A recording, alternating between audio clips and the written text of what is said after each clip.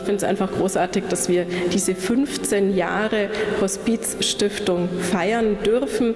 Und ich darf sagen, wenn es die Stiftung nicht gäbe, müsste man sie gründen. Dass wir dann auch noch heute den ersten bayerischen Hospizpreis oder Preise vergeben dürfen, das finde ich einfach rundet das Ganze richtig schön ab und freut mich sehr. Preis, das ist für uns wie Weihnachten und Ostern an einem Tag. Das freut uns ungeheuerlich, weil man sieht, dass die Arbeit eben auch wahrgenommen wird und geschätzt wird außerhalb äh, unserer eigentlichen äh, Arbeit. Und das war für uns eine große Überraschung, große Freude und natürlich ein großer Ansporn. Fand es großartig, wie viele ähm, tolle Menschen hier waren, die sich engagieren in dem Bereich Hospiz und Palliativcare und gleichzeitig eben auch hier in Nürnberg im Alten Rathaus. Das hat natürlich auch immer ein sehr schönes Ambiente.